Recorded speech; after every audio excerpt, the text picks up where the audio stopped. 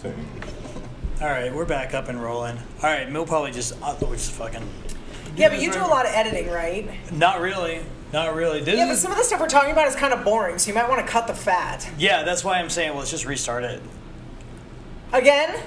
Well, I mean, we were just talking bullshit anyway. I know, so we were talking about we get people into getting the- their penis crumbled into ashes. Yeah, That it was was good. It was funny. I mean, but. if you feel like adding that in, fine. If not, I understand. Hi, it's David Euler with the Paprika Podcast Show. We're going to try this one more time. We had our stream drop off This a is the couple times. third time. This is the third time. we've tried this, you guys. Everybody knows that's the charm, Angie Krum. Angie Krum is a charm, and she's here with us in studio along with Blake Hi. Powell. He's visiting Hello. us from Montana. Uh, big, the the thriving comedy, uh, the beating heart of comedy, uh, Missoula, as we all know, where he has been doing one highly written and uh, prepared open mic a week, Yeah. and, and now That's how um, Vegas was 15 years ago. a- and he's got and he's got to be woke about it too, right? Are they sen- so? There's It's- a real liberal scene where you're from in Montana. It's pretty liberal, which I mean, for the most part, is fine. But uh, for comedy's sake, it gets a little annoying. Like when I started, right when like the pandemic was ending. Before that, it was like super. It was pretty much TED talks on stage, which is like that's great. You, That's you have a fucking struggle, gross, is what Yeah. that is. That's so. I mean, but Like the whole time, because you said you sat there and watched for years before you finally went up. yeah, when so I you're moved sitting to there Missoula, watching this garbage, and you're sitting going, I guarantee I'm going to get up there and I can do better than that. Or you're sitting Yeah, going, there's a- how the fuck do these people think this is goddamn comedy? Yeah, there's a few where it's like, holy shit, I'll never be that good. But then 90%, it's like, I can do better than that, which Yeah. is a really shitty thing to say. But Which two years in, you are ta- more talented than most of the people are two years in. You're more talented than I was. well, thank you. Yeah, you're Uh, welcome. yeah, I I- agree with that. You're right. You're writing is solid, and you're performing. You got up and you, you did your jokes at backstop. I saw you do that, and you're getting laughs, and you have the the format down, and then it's just a matter of confidence. My favorite thing about when you're the backstop is you sat down and you're like, oh man, I didn't realize that I didn't have to be politically correct. Politically Yeah, correct. changed everything. I've got so much other stuff that's Yeah. actually funny that I can say. I'm doing dumb fucking jokes. Like, quality's cool, isn't it? Like, Yeah. not here. You don't have to do that shit. Yeah, I, I that was always my favorite when like an LA comic would come to one of the open mics and they'd be like, "So Donald Trump is yellow, right?" And then they stop for like an applause break or something. It's like, they bitch, I think got that- Facebook too. Go right. What are you Yeah, doing? there's so many of those comedians where I live where they like push. They just joke about how shitty Trump is, and it doesn't do good. It's like, yeah, nobody cares about that. Like, just be funny about it. You're It's just trying to be like, it's not even low hanging fruit. It's not even hack. It's it's it's just lazy. It, it's not even it's not even lazy because anyone who is just trying to get like you know these are uh, the, these are people who the whole point of comedy is to say things in a way that you have other people haven't thought of. I mean that's the whole yeah. point is I to want take to hear why Trump is cool, like how Shane Gillis did it. He had the whole.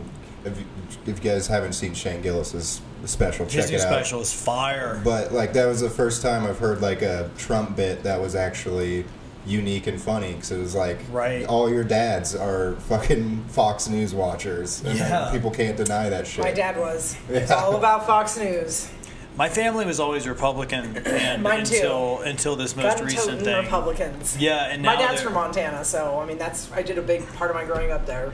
My grandma explained it very simply. She's like, she loved Donald Trump. Like when it, during all those stuff, she's like, "Oh, I love him. He's my man. Yeah. he's my man. I love Trump." Her favorite But color was orange. it, it's um, but it's because she she's a businesswoman. She was an accountant. Like she developed her own accounting. So my this is how gangster my uh, eh, or how serious of an entry into like accounting and business my grandmother got when she was at LSU. Her second day as like an intern in this this accounting office, the FBI comes in and arrests everybody except for her and one other intern. wow. And then she learned how to be an accountant. My grandfather and her started a business, Cruth Mortgage. If you're an old timer in New Orleans, you know that business. And it, it when it came down to it, she's like, "Look, Republicans fuck with your money less than Democrats do. Period. That's 100% my political stance. That's what she said, uh, and, and just that's what I got out of it. And uh, and you know, as a, an adult now, I'm like, oh, I, that makes sense. Like I get it, especially since I've. I, I ended up with a degree in journalism and philosophy, so I just say I have a degree in propaganda. And when we started seeing this crazy wave of news stuff from this dead industry, which is the mainstream media. It was dead ten years ago, or twenty years ago when it, it, when I was when I was an intern in two thousand and six. I got into this TV station. I'm like, this is not a real thing. Like, the, like who's keeping the lights on here? Because Yeah. it's not the it's not the viewers. Where was that at? Uh, that was in Birmingham. Oh, okay. Yeah, in Birmingham, Alabama is where I graduated from UAB, and uh, not like really a, a great like journalism school. I just I did the credits, I did the classes, I Yeah. passed, I got a degree and all that. But I was always about I was always interested in the bigger picture. That's what I liked about reporting. That's what's interesting. Is like you're a cop without a gun. You you should be pissing off politicians.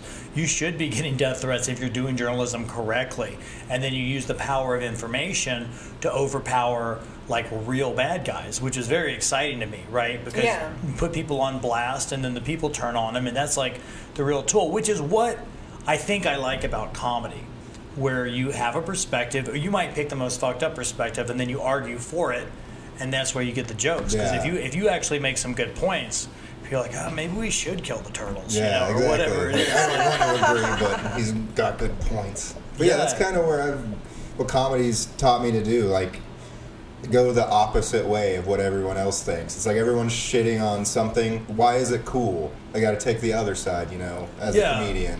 Well, and also, if you can't argue the other direction, then your argument it invalidates your argument. Yeah. because it's just hyperbole. It's just it's just you screaming into the wind if you can't eh, provide superior information to a weaker argument. Like, look, if if if uh, like I come from mixed martial arts, if your jujitsu is better than mine, then you'll win. Yeah. But guess what? If you're rusty, if it's not sharp, then you're going to lose. And it's that simple. Like how are you doing the work? Is are your tools sharp? You know, are we are we living? Are we alive? Are we humans? Are we surviving? Are we going to survive? You know, can we outrun a tiger? That shit, man. That shit Yeah, still. yeah. I don't give a shit. outrun a tiger? I don't give a shit how how like modern and comfortable and advanced you are. At the end of the day, we're not that high on the food chain. We built a bunch of cool stuff to protect us. And it's really important that we're always challenged because if you're not, then you're going to get weak, you're going to get flabby, and you're going to get eaten. One way or another. I, I that was the, the area of philosophy that I loved. That's just my, my last little stick. It was called process thinking, where you have a necessity, which means that like if you don't do the thing, then you're going to die. You, you're, you're going to get eaten or starve or whatever. If you don't prepare for winter, you freeze it, etc. Um, tradition, which means we don't really have to do that now because for whatever reason we've learned some technology or have knowledge that's uh, you know outpaced uh, just the raw elements. And then so we, we don't eat pork because the people who didn't eat pork because it would kill you, even though we can eat bacon now, uh, we still don't eat it because we're respecting the, uh, the necessity. And then we have dogma, which is why, why don't we eat pork? Is because you go to hell. It's like because I said so. And what we live in right now is like an age of totally like manufactured dogma. I think that the whole thing is dying out. But they'll have dogma. They'll be like, "Oh, you can't do this. You can't say this. This is wrong. This is hate speech. This is blah blah." And it's like, no, it's not. That you tell me how that's a necessity. Tell me how. Trace that back to the caves, and show me how. You know, whatever the the issue is. And when people buy into that shit, it, it makes it drives me fucking crazy. Well, we were talking Especially about that comedy. last. What were we talking about last night? I think it's when we first got to Choncla's and we were parking. We were talking about something, and I go, "Yeah." I go because so many people hear things, and because because of a huge collective says, "Oh, because this and this that nobody should do this or everybody should do this," so nobody does their goddamn research, and they all start doing it because a celebrity said it or a politician said it or whatever, but nobody does their fucking research. But because it's the trend or it's the big you know, whatever on the news or you know what I mean? Like whatever. It's like so people just Yeah. follow suit and they fucking do it without doing their own research or you know what I mean? Anything like that. And it's Fashion like has always been so gross to me. I, I, I cannot stand it when people just do stuff just to do stuff. and it's I- not just fashion. it I mean it's me ev- it's everything. It's everything. It's like just it's Yeah. so many things in life in general. Well, it's expanded, but at the end of the day, it's like it's you see people like on Twitter, and they have like the blue check mark, and they have the the Ukraine flag, and whatever the trendy thing is. And I'm like, well, like you're getting most of that information from the news, and let's just talk basic economics. The news is a dead industry. I mean, you're not even you're it's not even really trendy. Well, a lot of things like do you remember You that what I game mean? Telephone? A Yeah, lot of things are like the yeah. longest game of telephone. Like somebody could say something and it wouldn't like a huge celebrity, let's just say that a huge celebrity says one thing that's not even fucking true, but they decide to put it on social media. And um, then the next thing you know, it's like a worldwide thing, and it's not even true. But you know what? Everybody's gonna fucking believe it because it, that yeah. person said it, and nobody's gonna. Some people will do their research. You know, people are Talking more. about Joe Rogan right now? No, no. I'm just Yeah. saying that it's like just so many people just don't even do their research, but they go, "Oh, well, so and so said it, so I'm going to believe it, and I'm going to stand by this." And it's like, no, it's like get your head out of your fucking ass. Like, Yeah. Yeah. just if people are just more followers. Nobody's a leader anymore. I mean, there's a few leaders left out there, but there's everybody's just so many fucking followers anymore. And everybody gets in their own echo chambers now with social media. Right. Like you find what you like, and the algorithm just feeds that to you. So people are only hearing what they want to hear, and so they think that's fact. They think everyone else is seeing that same shit, but it's like no. Everyone's algorithm curates what they want to see, so everyone's just getting like reaffirmed from their TikTok and shit. Yeah. And like, there's no, you can't convince them otherwise because it's like, I heard these smart people on TikTok say this. You can't convince me. They're wrong. Right. It's Well, fucking frustrating. What- It's, Well, people it- think everything they read on the internet is 100% true. Yeah. that's hilarious. Yeah, because it's The hilarious. internet There's is so many people. They're just like, well, I read it on the internet, so it's obviously true. And I'm like, okay. Well, there are also there's like pe- there are people. Some of them are grown ass adults. A lot of them are just like kids who are saying, "I wonder how much re- reaction I can get from talking shit." I remember I was on one of these. Uh, see, I started doing MMA back before it was uh, a thing that people did. Like I literally didn't know anyone who practiced the sport who wasn't also. Uh, oh, if you're a fan of the sport, you also practice the sport. There's no regular fans Right. and I was I made a comment about like oh I I train with the on the one of these I love UFC forums or something on Facebook and I was like oh yeah I, I train with these guys and, and this is legit what you hear and, and I just kind of left it at that because I was like really thought it was a cool video. The first comment was someone just goes no you didn't. Like and I'm like this is like I was like that's adorable. And I at that point I had I was like Google me and I just left it at that. But what the funny thing is that from that point forward it was a whole thread of all these keyboard warriors arguing over how whether or not I had punked this guy and they like Google me and like I've been doing it for so long like there's a lot of shit I've done that wasn't on Google they like they have like the one where's your record or net worth. It's like, oh, you had like thirty fights, and you made like twelve hundred dollars. Like, yeah, you're because you're retarded and you don't know how any of this shit works. Like, it's it's fine. But I always said that when we have real fans, that's when the MMA. That's like what we want. We want a bunch of morons who are judging how to do the thing who don't do it. You know. Yeah. Although it was nice to have like the only people we dealt with back in the day were people who were like. Uh, they were converted hapkido like when all of a sudden they were doing traditional karate and then mma become trendy and they start saying oh we're doing grappling now or whatever it's like you watch some videos and stuff but Um. they, it, it's just it's just cool like and you have a, but there's so many the point is there's so many shit talkers like you have to be able to stand on your own two feet. You've got to know why. You can't just cite a bunch of other shit. That's the worst too when people get in arguments on facebook. Like you can't you can't win that. Like because if you're arguing on facebook you're already in your own like comfort zone and most people do not like to be pulled out of that. And no matter how convincing the evidence is you present them with or how good your argument is they're not going to change their mind because they're too stupid to understand their own argument. Why would they even go into? Why would they look up yours? You know what I Yeah. mean? So Yeah. that, and and that, therein lies the beauty of comedy, which is where we're at. I'm trying to bring it back and let you guys talk a second, but it's just that it's all based in truth. You can't bullshit uh, laughs. Yeah. You can't fake it. You can't. If you get there's three things I read in a book that make people involuntarily laugh the way you do in a comedy club. It's when you surprise them, when you embarrass them, or you make them realize something that they was true that they hadn't thought of, or in a way that they hadn't thought of before. Okay. Yeah. And, and that brings us full circle back to why we are uh, the we are the resistance, getting on, get, not being PC, doing comedy, making people laugh, and really, it's I think comedians are modern day philosophers because we're challenging ideas. That's yeah. the whole point. Absolutely. Well, it's funny. It's like the way things have been going the past few years. People are like, "Do you ever find that you have to tone your stuff down?" I said, honestly, I, I, I almost try to turn it up. It's like I. It's not that I'm trying to piss people off because I've always been more of an edgy or dirty comic.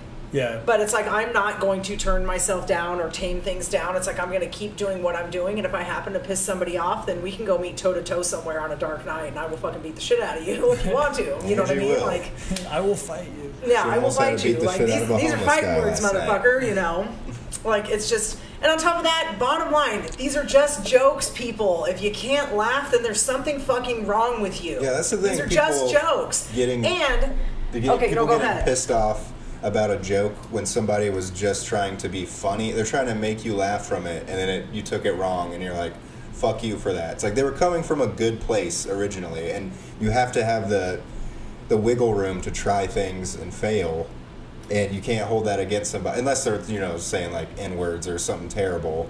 But Well, that's that's understood fighting words. But Blake, you you have started comedy. I guess the last two years. You've been in Missoula, Montana, a much more I guess like a woke scene, which is weird because I always think of Montana as like northwestern Alabama Oh, or it's- something. Well, no, he was saying okay. He was saying earlier, and I was telling him that he needs. To, you're, you're saying you might talk about it on stage, right? Like, like they don't have black people in Montana, and I mean, all my A few, family's from yeah. there, so it's like a few. All my family's from there, so it's like I did a huge part of growing up there. Yeah, there's. You see a little bit more Mexicans, but yeah, we don't see black people in Montana. So like he was saying earlier that he might make a joke about it about it because I was like, yeah, I go, like how tourists come here and they um weren't you saying something Or yeah, about like how in Asia, how white pe- like people will want to take pictures with white people. That's like how it's gotten in Missoula. People are so woke. They see a black person, they're like, "Hey, I want you to know I'm not racist." Like, "Hey, how are you doing?" You know? Like, yeah, yeah. Well, that, yeah, and I was like, well, it's kind of like the street performers here when people put on like a Batman costume, they take a picture with them, then they give them a couple Yeah, bucks. And when they take a picture with the black person, then they give them a couple bucks. Yeah, right. oh, This man. would go- look great on the gram for me. I- Show I- people I have black No, but it's like so all. Um, so I did a big part of my growing up in Butte, Montana, and that's where I went to beauty school as well, right? And I want to say, in all my years, I mean, seriously, you're getting a phone call. I don't care. Okay. Um, in all my years, yeah. I mean, it's like, but you know what though? Right. It's so fucking cold in Montana. I mean, I'm sorry, but the black people are the smarter ones. Yeah. it's like, who the fuck wants to go there? And on top of that, Butte, Montana. I'm sorry if any of my family's watching, but Butte sucks. Okay. So if anybody cool is, bars? if anybody, yeah, a couple of cool bars. You know why? Because you have to stay drunk to live there, and it's so fucking cold. It's one of something that warms you up to be out and about. So if anybody, the black people are the smart ones that never fucking went to that cold ass fucking state. Yeah. You go to visit, you don't stay there. But all my family, born and raised there, they're like, yeah, but Butte is the best place on earth. So why would you ever want to leave? And some of my family has world traveled, and they still have never wanted to live anywhere else. I'm like, what the fuck is wrong with you? Well, there's a real purity to like being out in nature. I mean, there's you I know, love you it's probably. Butte's probably like the third most likely place to be attacked by a bear or whatever. Yeah. But but it all but Montana's really beautiful. It's and gorgeous, If you have your live there. if you have your philosophy and your business and just like what you want to do locked down, it is a nice peaceful place. So the world can be like kind of complex. I used to like seek out chaos. You know, I spent five years essentially living out of a bag, being an MMA coach in different countries in Asia, and and I was really into that. I was like, you know, the more adventure, the better. And now I'm to a point where. Uh, you know, I've, I've had adventures, and like I really like something maybe even more peaceful than Las Vegas. You know, it'd be nice to live in the suburbs in like Louisiana and just chill out, or you know, I, I think I might want to check out Austin just because that's the big scary next step for comedy. I think is blowing up. You're seeing that really come up, but also they have the suburbs and a lot of other To each things their own. happening. You have a kid, you have a kid see. too. To each their Yeah, own. You have well, a kid too. Everybody has their own opinions. I don't agree with that. I mean, I would like to go spend more time in Austin. Right. I don't but know if that's I a wouldn't place. want to live there. Austin is a weird culture. I don't know how. I've visited a few times. I don't know uh, how I would vibe there as a resident. You know, I know that it's got all the stuff that I like. You know, it's got like high levels of everything. It's got mixed martial arts. It's got um, nature, fitness, nutrition. It's got comedy. You know, it's it's starting to and it's really growing fast. But that's almost a turnoff too. You know, yeah, when it it already gets too seems like it's oversaturated already. everyone's going there. Yeah. Well, that's what it was. It's like because when the pandemic hit, like Austin and there was a couple other places that people just really freaking flocked to, and but Austin was a really big one, especially Montana from LA. them. Yeah, because like um, all my family in Butte, because uh, like for instance, I have an aunt that has a house in Butte. She had this cool three-story Victorian style house. That they bought it back in the 70s, I want to say, and she owned it for like 30 something years. And um, when she sold it, she only made $14,000 off of it. Wow. Yeah, like that's how bad Sa- the economy is in Butte. But now Sounds in the past, haunted. In the past couple of years. Well, it was Butte haunted by looks her fucking cunt ass because she's the biggest fucking bitch I've ever met in my life, and I hope she is watching. Fuck you. Um, Aunt, Shots Le- fired, Aunt Lena, Angie Aunt Strong. Lena, I'll call you out, Aunt Lena. Fuck you're a you, fucking Aunt cunt. Lena. I hate you. Yeah. Um, why did my dad die? Because you should have been the one that died. Um, Jeez. that's how bad I hate her. No, that's how bad I hate her. I could, I, we, we didn't. She's not even worth explaining how bad she made things in my life so many times. So, anyways, um, we just out all of our family members? yeah, we can. Fuck you want to talk about Cynthia. yours? Anyways, so, um, but my uncle Kenny, my favorite uncle, um, he was telling me that when all the pandemic stuff was happening, he said that the economy just started booming in Butte. And same thing like up in your area in Kalispell, where all our other friends live. Um, he said people were buying houses in Butte sight unseen, um, just for outrageous, Oh, I could go on about outrageous prices. Yeah. we were me and my lady were about to look into buying a house right when covid happened and then just a flood of people came in buying shit sight unseen and it ruined our chance to like own a house in missoula and we're at the point now where it's like we got to get the fuck out of here because it's too expensive to every like a fucking meal is like 15 18 dollars for like a cheeseburger and fries. You can't own a house the Are you guys so still fucking getting paid high. the same amount of money at your job? like, See, that's minimum wage is still like fucking nine, ten dollars. It's doing the same fucking thing Yeah. here. It's like I don't I don't understand that. So we say fuck you to anybody who moved there from California and shit, and it's like a known thing. If anybody asks how cool Montana is, you go, no, it's terrible. Don't go there. There's Yeah, bears. don't go there. Don't You'll come die. Yeah, there's bears. Yeah. It's cold. Yeah. It's terrible. It's not beautiful at all. There's the mountains suck. You know, all the water's polluted. Don't go there. Don't go Uh, to Montana. Tell there's like a lot of parasites or something. Yeah. Yeah, well, there's a. This just it was California became so weird so fast. I mean, every single piece of legislation that I saw happen there throughout the pandemic and everything.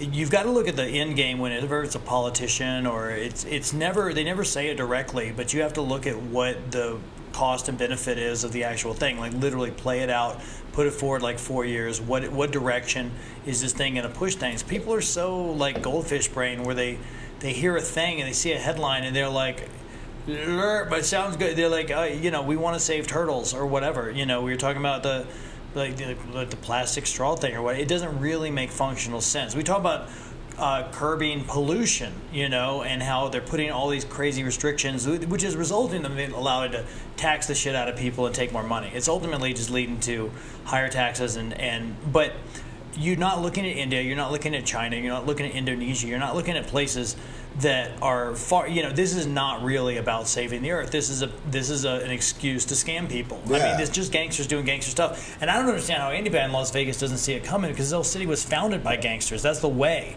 I mean, this this whole city is a, a laundromat for money. I mean, that's the whole point. Anyone who's seen a mobster movie, and some of those characters are real people, and some of their relatives are still involved in politics here, and it's not like uh, why would anyone be surprised like to go legitimate a mobster doesn't just start a business and then cut ties with the mob they get into politics that's how you get into politics is you have and you need to have money and then like if pablo escobar became prime minister of uh, colombia he's not going to make it harder to traffic cocaine you know like use your brain people like people never think Pat, this stuff makes me so angry. But I was gaslit my entire life. I was raised by a, guy who was in the closet, and then my mom played along with it for 17 years.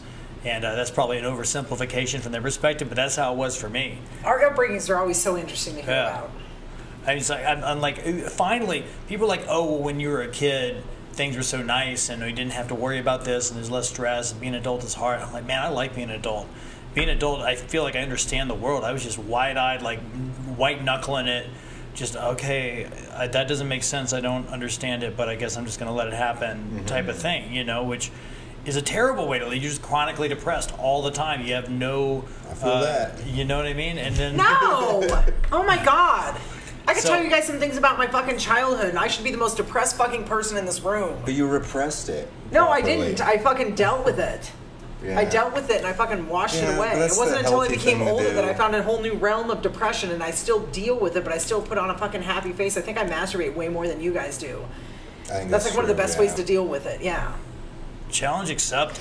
Yeah, seriously, I'll fucking, I'll, I would top you. I would seriously top challenge you. I will challenge you to a whack off. Yeah, I'll next challenge you to a whack off. I'll win. I'll seriously win.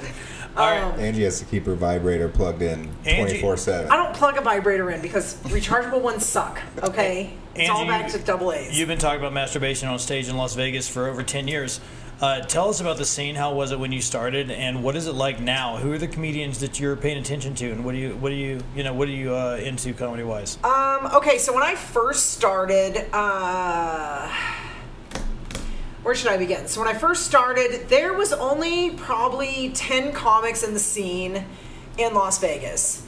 And uh, I, uh, a girl named Miracle Speakman, uh, I had reached out to a guy, like, I, I think I found them on Craigslist. They were doing a show, a guy named Mike Milton was doing a show with Miracle Speakman, and uh, Matt Markman was the other comic on the show. And so I reached out to Mike Milton and I was like, hey, I want to do comedy. I've always wanted to do comedy.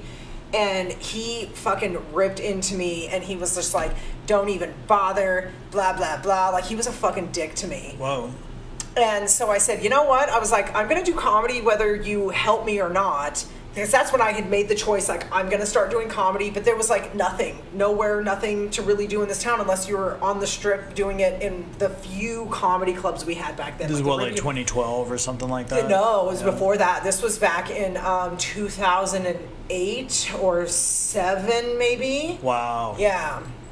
And so, um, so then I responded to Mike and I said, you know what? I said, I'm going to do stand up whether you help me or not. I was like, and one day I said, you're going to fucking see me accepting an award. I said, and you're going to remember this conversation and go, you know what? That's the girl that I didn't fucking help.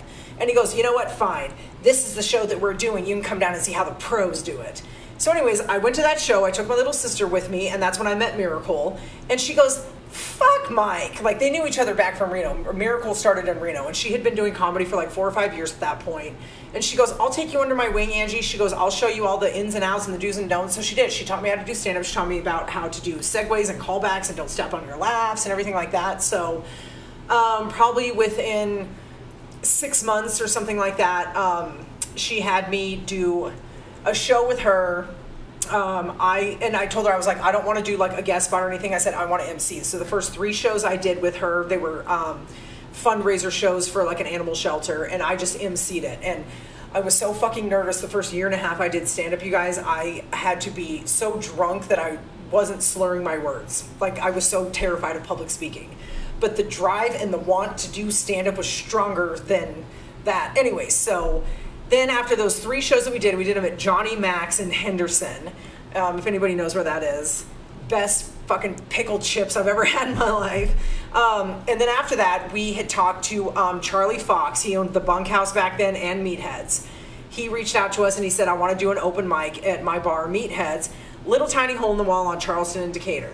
So we started That's, running. that's the Hard Hat Lounge, or what used to be, right? And No. now, are they something? No, No, Meatheads no. is not. the Hard Hat Meatheads. Meatheads was on Charleston and Decatur. Oh, totally Um, yeah, and so um, so we started doing meatheads, and um, that was on Tuesdays.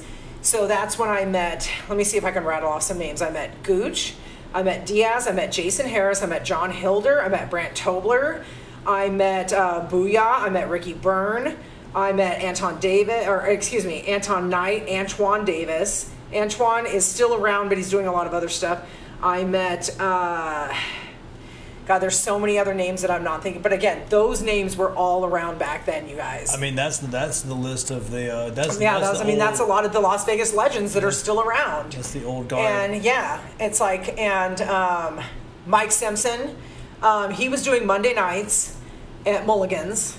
And uh, Diaz had Monday nights as well, but that didn't last very long because somebody got shot in the parking lot, not during comedy nights, but another night. But they didn't want to do comedy anymore there afterwards. So yeah. They really killed. so we did night. meatheads on Tuesdays, and then they had Monday at Mulligan's, and yeah, they really killed there. And um, and so um, so yeah, for the longest time, we just basically had Mulligan's on Mondays and meatheads on Tuesdays, and we had basically the same like 10, 12 comics. Gabe in Alaska was around. Um, anyways, so and I can keep rattling off names as I go. Anyways, so um, Marty Forrest, he's passed away since then. Um, so, anyways, uh, I keep saying anyways. I'm just trying to like recall all these these facts and these memories and stuff like that. So who who of them are are still out there doing it? Like I know Gooch is still around. told All of them. Yeah, everybody's still doing it. Yeah, all of them. Like I said, Great. Antoine Davis, he was part of like the improv scene. And a lot of names came along shortly within a couple, because it's like, okay, so we basically had, you know, Mike had Mondays, I had Tuesdays. And then after a while, um, more people started coming out. Like, like Tuesdays started growing. Tuesdays started growing. Like, I think it took like eight months to a year um, for meatheads really to catch on. It really took a while for it to catch on, but once it caught on, it was like fucking wildfire, and we had to add um, Thursdays. So meatheads went on Tuesdays and Thursdays for six years. What is what is Meatheads now? This is a, Nothing. When Charlie decided to close it, um, I think there was a Cricket Wireless on one side and a Jamba Juice on the other. So now I think it might be like a Chipotle or something. And Oh, on the corner of Charleston and Decatur used to be a Taco Bell. I think it's a drive-through Starbucks now. All right. Charlie just came in one morning and said, bar closed forever. Ah. So right after that, he said, "Hey, you want to do an open mic at my Hard Hat Lounge?" So I ran Hard Hat for a while, and then when I decided to uh, move to LA, I gave it to uh, Bobby and Trez, Bobby Stotts and Trez. Okay. And back then, Bobby was called Honky Be Cool. so Bobby came along shortly after that, but yeah, Trez is still from back in the day as well. Um, but anyways, yeah. So like Meatheads was like a like a home base for a lot of people. You know, it's like and it just so many comics got their start at Meatheads, and it just it was just such a fun, cool place. But it was tiny. I mean, it was one of those skinny, long bars in a little strip mall like everybody sees. It's in that Walmart on Charleston Decatur. It's in that that little plaza there. But yeah, it was fun. Like every time we had a year anniversary of Tuesdays or a year anniversary of Thursdays, I would bring my barbecue grill in and we would put it behind. And so we'd always have free food on the anniversaries and then we'd do like dollar beers and stuff like that. So it's like, but it was just so welcoming and fun and open and it was a great show. We always had good times there. And then I started running shortly after we started doing the uh, Tuesdays. Uh, Charlie also owned the bunkhouse, so we started doing um, uh, showcases on first Fridays at the bunkhouse, and then he also owned a motel that was like within walking distance from there. So he'd always give the comics a um, hotel room for Friday nights. Oh, that's cool. So Miracle and I did that for a while, and then um, we met Tawdry Hepburn, and we brought her on as a third partner, and then we started running shows at a swingers club called the Power Exchange. So then we took on um, Tuesdays and Wednesdays. This is before we added Thursdays.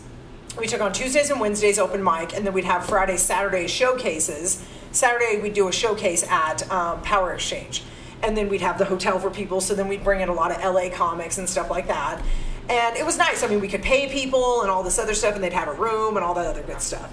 Um, and also doing a show at a swingers club was very interesting. I have tons of fucking stories about that. I bet that's gotta be what a weird name for a swinger. I'm not appropriate. Um, well, it's out of San. Francisco. Yeah, the Power Exchange. I mean, yeah, I bet people are getting tired. Were people still in like gimp gear when they were in the audience? Um, well, okay, so the show would start at 8, and it's a two story, 10,000 square foot building with 23 themed rooms. So the room that we would do our show in. Party. Um, well, the room that we do our show in was upstairs off to one side, and it was one of the bigger rooms, and they built a stage for us. But I mean, the stage was only a few inches off the ground, and um, it had two stripper poles on it. And so they tell people, they're like, because the club would open at 9, we start our show at 8. So when the club opened at 9, they're like, there's a comedy show going on upstairs. They're like, and you can go watch, but there's no sex or nudity allowed in that room while it's going on. So we had like chairs and couches and stuff in that room so people could watch. And then there was like a queen size box spring and mattress in the corner of the room that when all the when you know when all the seats were full, people would just sit on the edge of that bed just to you know watch the show. But- Yeah. so, you know, the club would open at nine. So by the time our show finished, um, you know, everything was going on in the club. So um, Fridays and Saturdays were, I think they're like their S and M nights or something like that. It was something like it was something like that. So when our show finished, we would go downstairs. So one room was like a medieval room, and the other room was like a, like a dungeon. Wow. So you'd watch all this crazy S and M shit. And one night I wasn't there for this. I left early, and they said that they watched a chick get fucked with a crocodile Dundee knife. And they said that yeah. They said that it wasn't like he was doing this to her. They said he did it really, really slow, and he like cut his thumb to show the audience how sharp it was. And I was like, he did it "Are like you-" on like on stage. Like this is a Yeah, like he did it as like a like a show for everybody in like Wow. the dungeon room, and he was like he had her like tied to this like table. I got, thing. like, ghost and he had like he had a plastic sheet on the floor so that people could see that there was not going to be any blood shed. But he showed them on his thumb that the knife was sharp, and then he fucked her really really slow with it. To and I was like, at what point does somebody get in their life where they say? I want want to get fucked by a knife. You know Or what I a mean? Like, fucking what is wrong with you? Yeah. So then, like, my, my business partners text me the next day. They go, You shouldn't have left early that night, last night. They're like, We just had this girl get fucked by a knife. They're like, And it wasn't just like a knife. They're like, It was a knife, you know? Like, Wow. yeah. yeah. Knife. And I was like, uh, no, I think I'm kind of glad that I left. Like, but yeah, we saw all sorts of other shit happen. It's one of those things you night. think you want to see, and then when you see it, you're like, oh god, this is lifelong trauma now. Yeah, so we saw all sorts of weird shit happen. Like, like one time we were actually doing a show in that. I, did I tell you the story the other day? I told, might have told somebody else, but this is my favorite story about the fucking power exchange. We were doing a show, and um, again, no sex or nudity allowed in that fucking room. And again, there was that box spring and mattress in the back of the room. And our headliner was on stage. It was Derek Stroman. You know, Stro, if you watch this, I fucking love you. He's taken a little bit of a step back. We're hoping he gets his ass back out. But so he was our headliner that night. He had like five minutes left. So there's a woman named Stephanie that she had a boutique there. That if you came in to get, okay, because we'd have a lot of straight men that would come into her boutique and they would have her make them look like a woman. And then they'd go in and they'd walk around the club all night dressed like a woman. But at the end of the night, they have a locker room with showers where you could shower it all off, put your man clothes back on, and then then you leave for the night. You know what I Yeah, mean? So it's like that was like perfect yeah. sense. So whatever. I, I, I learned a lot there, you know, because I mean, these guys would come up to me and hit on me, and I'm like, they're like, no, I'm a straight man. I just like to cross dress. I'm like, oh, okay, you know. Again, this is a long time ago. So, anyways, so Derek Stroman's five minutes left on the stage, and they knew that there was no sex or nudity allowed in that room. So, Stephanie comes upstairs. She's a goddamn employee there, so she knew better than anybody else. She comes up there, and Stephanie's a tranny, and she's one of the most passable trannies I've ever seen. She comes out with her big fake titties, huge, out, right? And she had clothes on from the, you know, from here down. And then she has a guy by his wrist behind her. She walks between the audience and the stage. Well, the guy she had by his wrist, he was completely naked. Yeah. So she walks between the stage and the audience. She takes him to that that um, mattress and box springs in the back of the room. She lays this guy stomach down and she starts fisting his asshole. Oh my god. Wow. And there's one guy sitting on the edge of the romantic. mattress watching the show, and he stays there. So he's watching the comedy show while some guy's getting fisted right behind him. Uh, you think it's hard doing comedy when there's just a drunk loud person in the back? Yeah. Yeah. So I use that as my closer. So, so, anyway, so then Stroman's like, um, okay, I think I'm good here. Yeah. So he's like, yeah, hey, all right, have a good night. Anyway, so you couldn't smoke in there. And so right outside, you know, right outside of that room, you like walk through another room and was this humongous patio. So we all go out there, everybody would smoke weed, smoke cigarettes, whatever. So we all go out there. The guy that was sitting on the, the mattress while the fisting was going on, he comes out there with us. His name is Richard. So I go, hey man, I go, why didn't you move? And he goes, well, I didn't want to make them feel uncomfortable. What a gentleman. Too late, unless that's like their Oh, happy another place. comic that was around back then, Jeff Grant. Rest in peace, my friend. He died a year ago. Yeah, almost Jeff a few days ago was the the anniversary of it. But yeah, Jeff Grant was back around back then too. Can you fist my ass tonight for my closer? Do you want that me sounds to? amazing. Yeah. Do you want me to end hand puppet show. you? Yeah. You should really, you should really come to the Halloween show at Backstop. You, you have not been, Angie, right? No, I haven't. When, when are they doing that? Do you know the date? Did you say the They said like the twenty something. It's like well, right- it's so right I'm doing Stoner Halloween. Rob show on the twenty eighth, but I don't. Ha- well, okay, I got invited to a Halloween party on the 29th at a mansion that's catered by one of my coworkers. Her name's Paula, so they call it Halloween. All right. And I'm like, oh, wow. And I was going to be Freddy Krueger this year because I was Freddy Krueger two years ago, but it was all like COVID, so nobody got to saw my, see my kick ass costume. Are but you like a sexy Freddy Krueger? Or I was you, a sexy Freddy, but the thing was, is I like fucked myself up with all the latex makeup. So I mean, I was melted. I mean, I wasn't, I wasn't pretty. So you and I didn't more want like to be Freddy. Krueger after you took the mask off. Huh? You looked more like Freddy Krueger after you took the mask off. I looked really cool after I took it off. Yeah? But I looked gross with it You're on. I Freddy. showed him pictures. I, I mean, I looked Yeah, pretty good. at Yeah, you. I looked freaky. I had the contacts in and everything like that. I did a Tom Bomb show that night. Oh, nice. So trying like having those contacts in, and then when your eyes move, and it takes a second for the contacts to move, that fucks you up even more. Because everybody knows what a Tom Bomb show is, and if you don't, um, can I even talk about it on here? Should I? I don't Yeah, know. you can talk Yeah. about it. Tom Baum runs the psychedelic show. Yeah, he runs all a over the- psychedelic show all over the so- country. He does all it- over the country. Yeah, so it's like it's a psych. You have to do a some type of a psychedelic. You to do the like show. mu- yeah, you meet up like an hour ahead of time and you do mushrooms or acid, and then when it kicks in, you go on stage. Or Molly, right? Or Molly, that's That'd be I the other. go-to. Yeah, and uh, then whatever comes out of your head comes out of your head. Yeah, here. I feel like that would be a real low pressure set to do because you do like ten minutes and it, you don't worry no, about. I was headlining that night. I had stuff. to do. I had to do thirty minutes. Oh yeah. What, Yeah. What, what did you mushrooms, acid? I did Molly? mushrooms. Yeah. Um, and the thing is, is like, here, I'll just let me pull up a picture of how I was dressed that night. Um, It was a good costume. More like Freddy Cougar. Freddy Ah. All Krueger. right. Damn it. Let's see how well I can. That was Blake Powell with the Freddy Cougar comment. Yeah, can you see that? Oh wow, that is a gnarly Yeah, looking I'm like- costume. I don't know how well people can like see that. Here, I'll, I'll hold it up on my camera. Yeah. Yeah, it's uh, right here. Look at that. Wow. That is Ms. Angie Krum. So I was going to do that again this year, but Aiden Park, that was going to be here with us today, he is going to be Freddy Krueger for a musical for Halloween. So when I showed him this costume, he goes, "Oh my God, can I try that on?" So now Aiden is borrowing my Freddy, my sexy Freddy costume to um, be in this musical. He over was so funny. I'm sorry you couldn't make it today. Yeah, he had other stuff going on. He agreed to it, and then he ended up having to cancel. But he'll be on one of your other future podcasts. Shout I out to promise. Aiden yeah, Parks. yeah. I love you, Aiden, my gay husband. That he is so gay. He is. He, he was really Yes. like he's very funny man. All personality. What a, he was a fun. He had a, did a good set. I told him if he ever last turns night. straight, that I'm going to be the first person that fucks him. Yeah. I think Aiden is so hot. I don't think a lot of Asian guys are hot, and I think Aiden is so fucking hot. He's really Good tall. Asian boy. He's tall and for he's a really Korean. well. And He's- part of the reason he- why he's um, built like a model. I mean, that- he's got that coat hanger build. and he's got a really nice chiseled jawline too, which Yeah, I'm, yeah. I'm a jawline girl. He's got nice symmetry.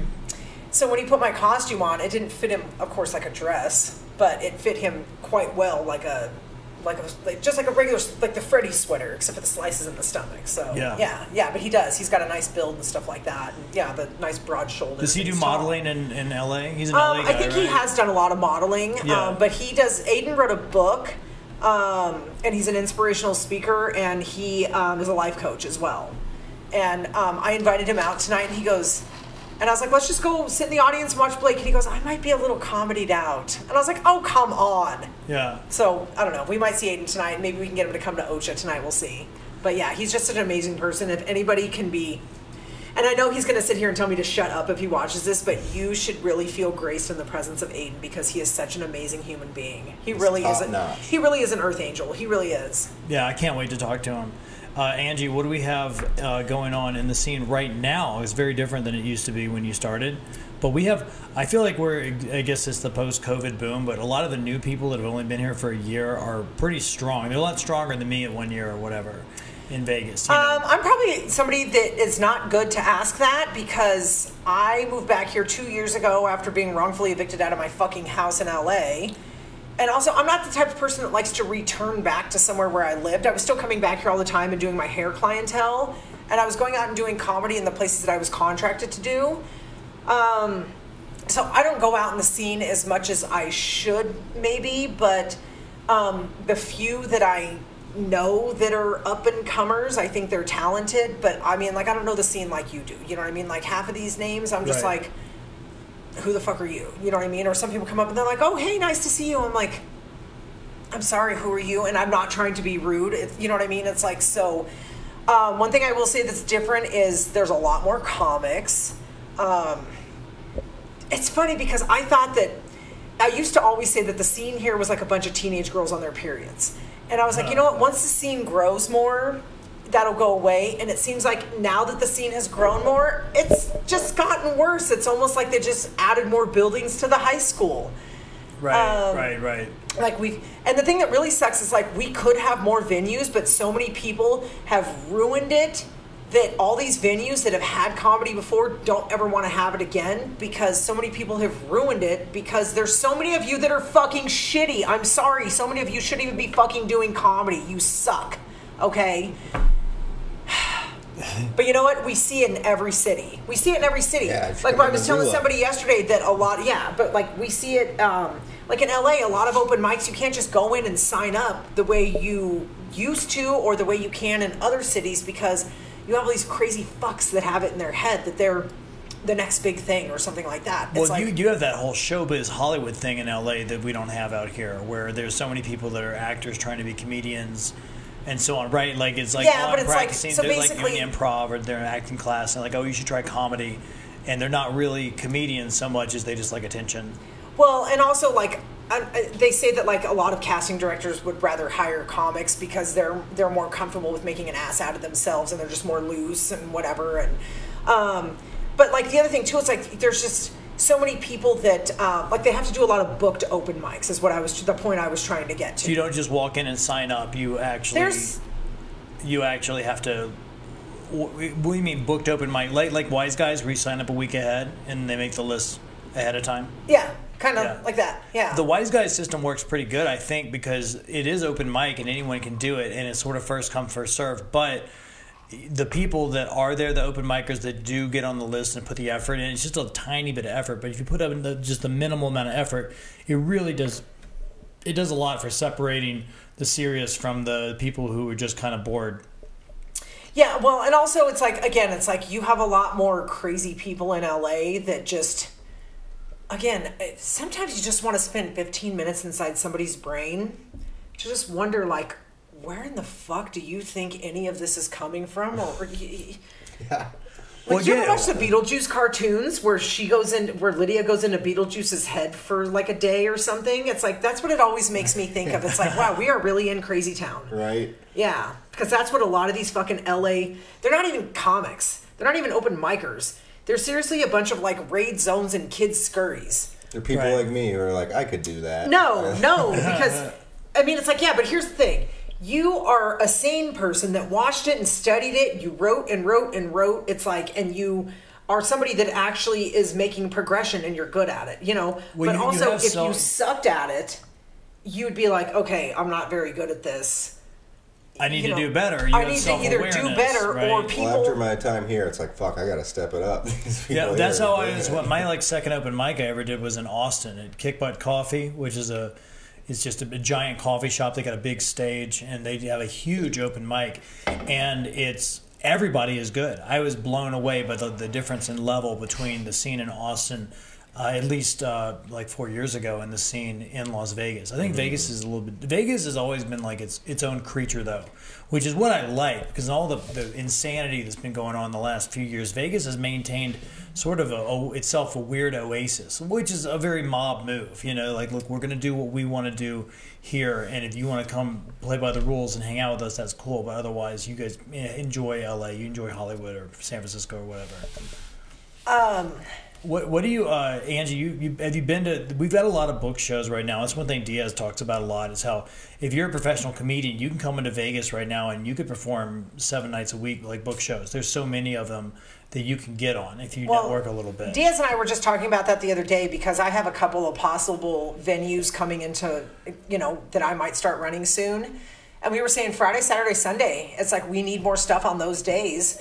So those are the ones I'm going to try to push if these venues actually come into to fruition or whatever. But um, I have a couple of comedian friends. Like it went from this is a difference from years ago to now comedian friends that I've been friends with the whole time, they used to say Vegas is one of the best scenes in the world. right. To Vegas is one of the shittiest scenes I have ever been in. It is so toxic, and these are comics that I've known for you, like I said, I've known them for years. They travel the world. They go to almost every fucking city, and they're like. What the fuck happened to Vegas? They're like, it went from being one of the best scenes to one of the shittiest, most toxic scenes. What do you mean by toxic? Like how do you? How would you? Um, I think because there's so many comics now, there's not enough rooms, and there's too much fucking drama. And people play into the drama way too much. I was telling somebody two nights ago, we were talking about some just recent drama, and I said, you know what? Instead of playing into the drama, I said, do this. Write a joke, write a few jokes, contact some bookers. Instead of playing into the drama and trying to get more people to feed into it, do that. Be constructive, be positive with your energy instead of trying to get more people to hate that person or watch that video or whatever. You know what I mean? Put it in a more positive spin. But so many people, again, more people would rather gravitate gravitate towards the negative than the positive. It's like, but again, like it's just rise above it. Rise think above those it. Like, people, it's like a thing of jealousy, and they can't write funny jokes to go that way, so they have to. So it's like okay, so it's like if you want to just keep sharing that negative video, then why don't you keep watching it and pick it apart and write your own fucking jokes you want about it instead of trying to get people to watch it for the for the publicity or the the the hits on the video. You know what I mean? It's like Yeah, well, there's no such thing as bad publicity. I no, mean, there's no such thing of bad fact. publicity. No, I know that. I know that. And but I'm just saying it's somebody- like Well, what- because this person sent the video to me, and, and it's What something video that are you talking about? I'm You talking about like- the one of you and Ty. Oh, the one in the Yeah. interview that I did. Yeah. Check out the Paprika podcast. Yeah, so it's like the video Ty of him and Ty. This person sent it to me, and everybody knows about it, and I've seen it. And Ty is a good friend of mine, and I will go to bat for Ty any day of the fucking week. Okay, if anybody wants to talk shit about Ty, I'm gonna fucking go toe to toe with you because Ty's a friend of mine, and I'm always gonna fucking stick up for him. Okay, he's an amazing human being. So, anyways, this person sent me the video, and I responded to him. I go, "Why did you send me that?" And so I saw him out a couple nights ago, and he was just like, "Oh, you know what?" He goes, "It just said, do you want to send this to the top 50 people on your thing or whatever?" And I'm like, "Okay, well, I've never seen that on Instagram, but whatever." And so that was my response to him. I go, instead of doing that, I said, "Why don't you write jokes instead?" Because he's Right. a fairly new comic. I said, "Why don't you write jokes instead?" I said, "Or contact some bookers." And he goes, "You know what, Angie? He goes, "I see your point." He goes, "I get that. I get that." And I said, "You know what?" I said, "Also, I said." Ty's been in this scene a long time. He's been in comedy a long time. He's very talented and he's had to deal with a lot of shit. I said, so I go, if you're even here in 10 years, because I'm sorry, a lot of you won't be. You have so much drive and passion towards comedy now, because I've been in it 13 years. June was 13 years for me. And we see so many people come and go. And for as much as you love comedy, life happens. You know, like I have friends that they are so fucking talented and they should be in comedy, but you know what? They end up getting married, they have kids, or their job is so demanding they just can't do comedy because they're getting paid so. You know what I mean? It's like so. If you're still around in ten years, it's like even if you're not friends with somebody that you had a beef with in comedy or whatever, you know, like speaking about this whole thing recently with Ty. So I told this guy, I go, if you're still around in 10 years, I said, there might be a level of respect that builds just because you have that love and respect for comedy and you've gotten good at it and you're getting booked and you finally start seeing it from perspectives like he and I do. I said, you and him might actually be friends in 10 years. And he goes, well, I don't know about that. I said, tenure tenure makes such a big it's so important in in comedy. It, it, i've always said that comedy and mixed martial arts are so similar as far as industries because it really at the end of the day it's just you. And the comedians or the if you're a fighter and you're trying to make it it really only matters what you do what you promote how you train what how you're networking. I mean it's all it's very very similar. It's a type it's athletic show business but it's the same type of deal where it really is all on you. You're on stage it's all on you. This is you uh, pre- performing, presenting what you've worked on. And if you do good, then you do good. And if you do bad, you've got to figure out why you did bad and fix it. It's not the audience's fault. It's not the booker's fault. It's not anybody's fault but yourself because you're the only person on stage. You're the only person saying stuff. You can't lock in. It's something you got to practice.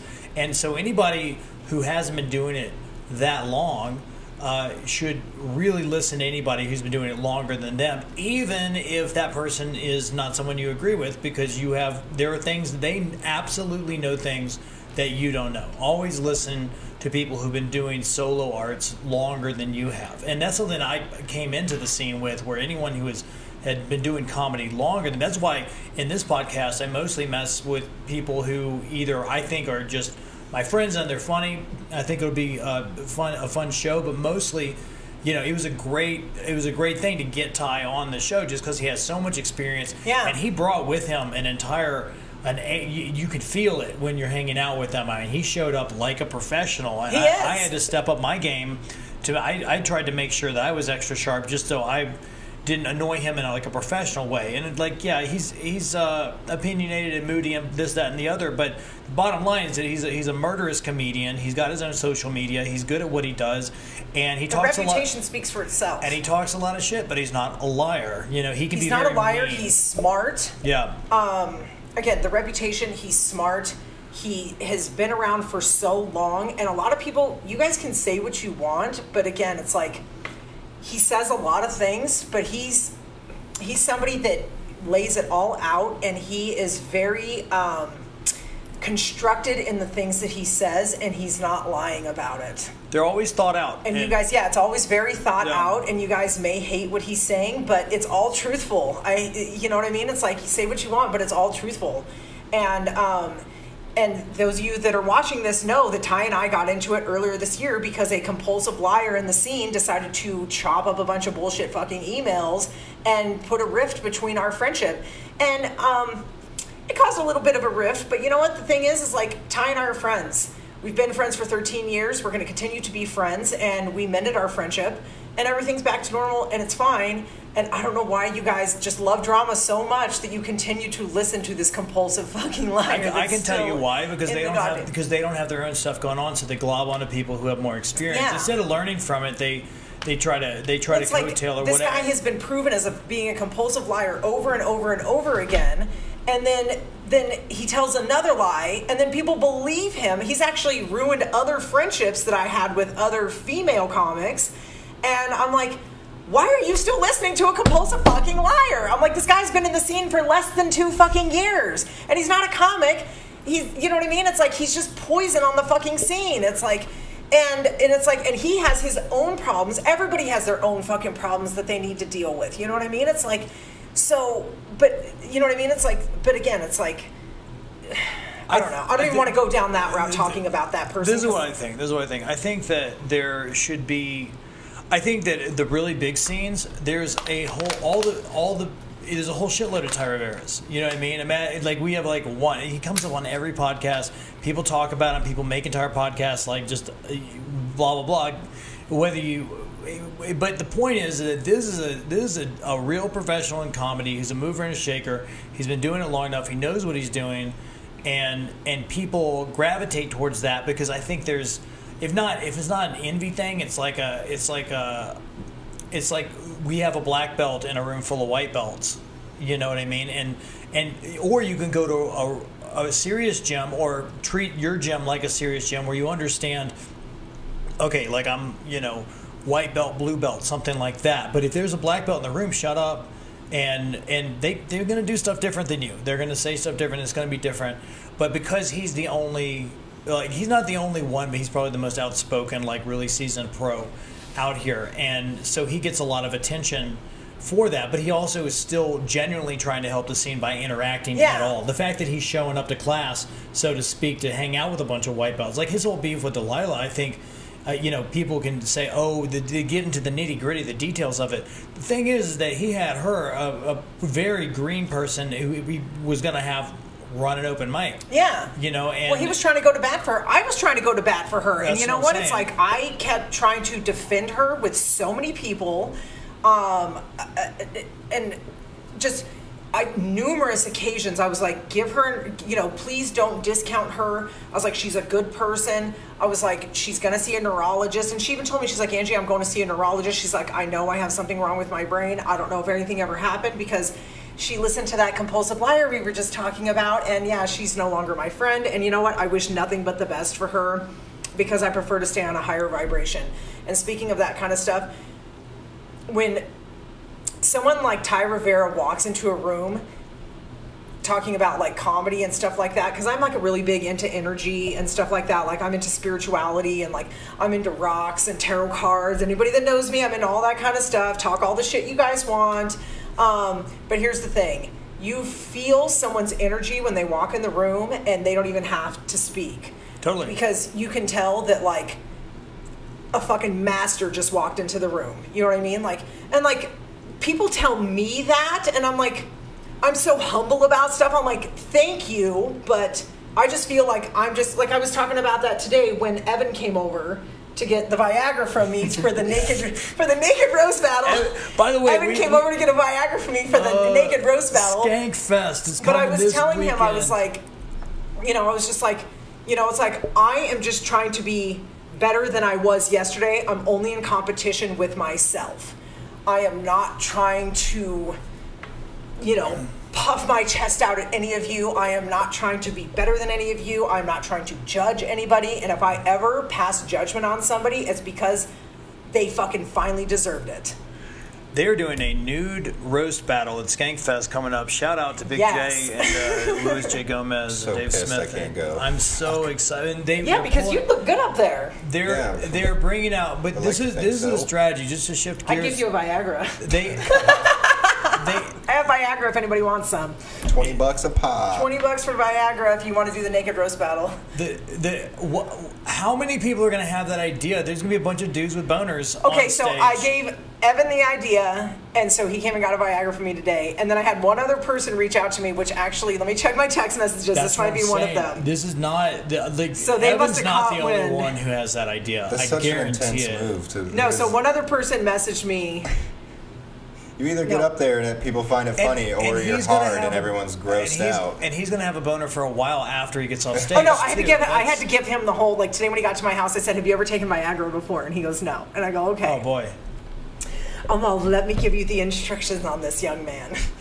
I was all first off, split it in half. 50 milligrams will do this. The you know, but the full thing, 100 milligrams. Now, whether you're drinking this and this, and if you're not drinking this, this, this. I was like, now just for the roast battle, I was like, you might want to just shave a little piece off, and this, this, this. I was like, but I was like, it's you know. So I gave him all the instructions on it because I've been. You, have, is you have to take Viagra to ride this ride. that. That's what I'm so saying. Sad. I'm not going to be able to make it to the show. It sounds like Well, like somebody some- reached out to me and they go, "We heard that you might be interested in doing the naked roast battle," and I said, "No." I was like, "Do you want to see a tampon string?" Uh, I'm sorry. I'm That could be funny. They call it. Okay, I, I think If they, Evan's got a boner, you can have a tampon. That's Yeah. only fair. I would have a butt Yeah, plug that's in true. was on stage. This got like a raccoon tail on it. Oh my god! a Furry. I thought oh, is that a thing? Yeah, you haven't seen Oh, that? yeah. No. Are you kidding? You used to work in a I don't swingers want club, anything and to do you, with and you don't ass know that. stuff, so I have no idea furries? about that. Of course, of course, people are putting tails on their butt plugs. You didn't know that? That's How else do you get a tail? You gotta Yeah. have it in your butt. I just thought it had like a handle on it, so it. well, the tail is the handle. That's how you get. See, I'm not into it out. anything anything anal, so yeah, that My is so fucking foreign to me. Well, you don't have a dick, but you know everything about Viagra. You sound like a pharmaceutical. Yeah, because I'm, here. I'm all about everything that goes in the front. Yeah, cover the whole spectrum. Skankfest is coming. Our friends are going to be naked on stage doing roast battles. And I was explaining this to uh, who was I talking to about? I was we and Casper were talking last night about. Uh, by the way, come tomorrow and watch Casper and me host the the uh, not the paprika. What are we doing? It's the uh, there it is the Ghost Pepper comedy open mic. We're taking over the Ocha show. Uh, I think it's going to be wild. We have the Ghost Pepper challenge, which we're going to be doing. You're going to get randomly drawn, and unless you opted out, you eat a ghost pepper and then you do your set. Uh, just to mix things up, I'll be at the piano as always doing the EMC deal. So come down to Ocha Mike uh, on tonight, tonight Thursday. You guys should do a Thursday. Peanuts. You guys should do a Peanuts theme show since you're Charlie Brown. Oh wait a second, is it Linus playing the piano? Uh, Linus has the blanket, and So is it uh, who plays the piano? Uh, it's it's um, isn't that isn't that Sally's brother? I forget. It's a it's just a separate kid. That his thing is he plays the piano. That's One of them plays the piano. Yeah. So yeah, you guys should do like a Peanuts theme night. So like you play the piano. We should make. we I should learned the make, we should make the- Casper be Pigpen. Wouldn't that be so funny? Is that a Charlie Brown reference? Yeah. Yeah, Pig, Peanut- Pigpen was the- Peanuts is Charlie He's Brown. the one who Peanuts. always doing that, right? So I think pretty sure Charlie Brown is the one that plays the piano. No, Charlie Brown's the No, main he's character. not? he's got the zigzag on his shirt. He's the main Yeah. character. The main character is Charlie Brown and Linus. They're best friends. Linus always has a safety blanket. And then Linus's sister is Sally, who's the blonde girl. And then there's um, No fucking internet connection. Yeah, I was gonna find out. Great. I'm gonna have to get it. All right, I'm calling Cox as soon as you guys get out of here.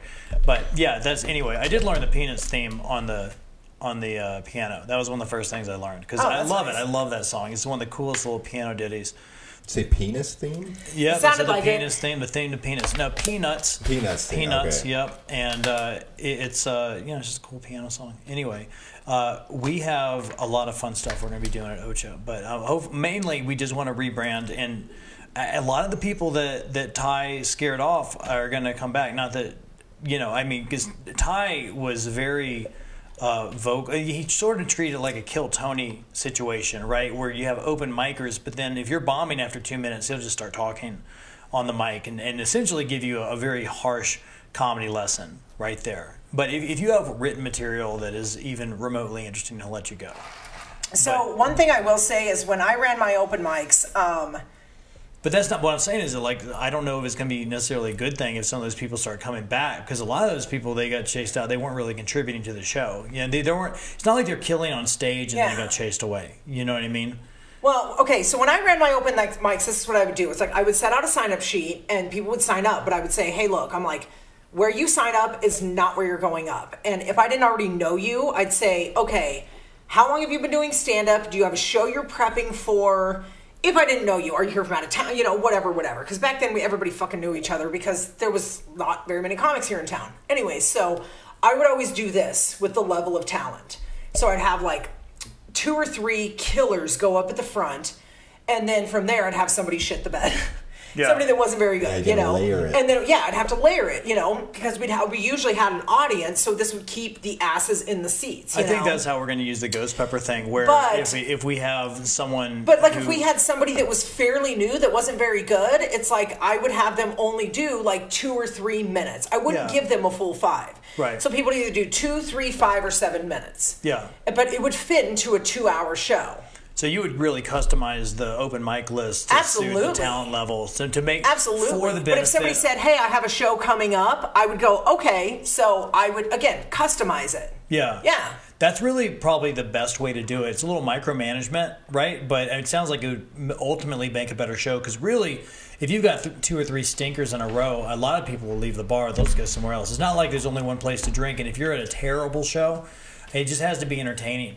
That's I Well, the think, thing is, is we did it, just letting people go up wherever they signed up. yeah, right. And it got to the point where we never had a fucking audience because when we did have an audience, we'd have three, four, five in a row that shit the bed. The audience would leave, and then all the good ones would go up, but we'd have no audience. And then I finally said, you know what? Fuck this. I'm going to start moving around. Again, it ran two nights a week for six fucking years. So eventually I developed a format that worked really, really well. That's what it is. is Practice makes perfect, and you Yeah. have, but you also have to be focused on the right parameters. I mean, it really is just butts in the seats. How many non-comics do you have? Can you promote in a way that attracts people who are just want to go see an open mic comedy? Because say, hey, do you want to go to an open mic comedy night? That's a hard maybe. You know what I mean? If you don't know the scene, that's a hard maybe because you don't know what it's going to be, especially in Vegas, because some of them are really, you know, you're dealing with, you know, 10 comics and nobody else. And other ones you might be dealing with, it might be like a Wise Guys where you have a whole bunch of real audience members that want to see comedy. They understand that not everybody is really experienced, but they also might run into some killers. You know, I've seen some amazing three minute sets of Wise Guys from some real professionals. Talk about, uh, uh, like, um, I don't know, like Carlos Anthony, man. Talk about a, a, a dude who has gotten. Re- I mean, he started opening up for um um um um, um what's his name? Help me out. He's playing. He's got. He's the resident at the uh, you know Undercover Brother. I don't know shit about Vegas. I'm no Why can't help I think of it? No, when I came back Carlos two years Anthony's ago. fucking killing it. Part time famous. You guys check him out. Um, no, I like I know Carlos okay enough, and I think he's hilarious, but I don't know that much about him. But I think he is a definite hilarious guy. I think that he is a um, class act human being. He is, yeah. And I think that uh, on and off stage that he is just an amazing person. He absolutely. But I don't know that much about him. He absolutely murdered at 18bin on Tuesday. It was just. I mean, You know, we in as a left because I wanted him to go see Artifice. So right before Bruce finished, we left so he could go see Artifice because I wanted him to get a feel of Right. what Tuesday nights were in Vegas. So yeah, we didn't get to see Carlos. Yeah, Yeah. we should have stayed at 18bin. The other place was cool, but the other show was way more hopping. Yeah, it was it was happening more on Tuesday night. Yeah, Um, well, that, that restaurant is pretty popular anyway. I think a lot of people just go there anyway. They have food, which makes a big difference from Artifice as yeah, well. Artifice And- needs to have food. And, and also, Amir has done so much work at the LA Comedy Club and so on. I think that you know, it makes fit- a big draw. It Yeah. does. And Amir just because I know Amir from LA, and Amir out in LA, it's almost like uh, here's my philosophy about LA comics, um, and this goes back to those fucking booked open mics. 90% of the people that pick up a mic in LA have no business doing it because there's so many shitty fucking comics in the LA metropolis. But the other 10% that pick up a microphone are wildly fucking talented, wildly talented. And um, it takes a while sometimes for them to weed through all the bullshit because all those pieces of shit, sucky comics that have blown so much smoke up their ass keep fucking taking away stage time from the really talented people. So, um, but uh, it's like so Amir was one of those. So when Amir moved here, he finally started getting noticed for how talented he truly is because Amir is so fucking good. That's a real plus of the Las Vegas scene too. Is that It when really you do have It guys is. like like um, one of my favorite uh, guys who came in post pandemic and now he's back in New York is is Jordan Perry. Yeah, yeah, Like, I love Jordan. He he's- such a good person. Well, he's, really hilarious he's, comic. well he's really he's really talented. Like he always takes things to uh, like as, as far as and like he really got to spread his wings here. yeah I know him from LA too. and he's one of those guys where he walks in the room and you're like, this guy knows what he's doing, and you really feel that Yeah. from him. Yeah. We have a lot of really talented people. Not a lot of them are as active as on social media, and uh, there's not I'm not. really there's not really any podcast. That's the thing too is that I want to build this one into where it's like, hey, if you're a comedian coming into town, come through. I don't care who you like or don't like. I want to talk, and you, you say your piece here, and then people watch it if you follow comedy in Vegas. And then if you disagree, come on and say your piece. You should put together some type of like a small, like uh, thirty second uh, sizzle reel, maybe.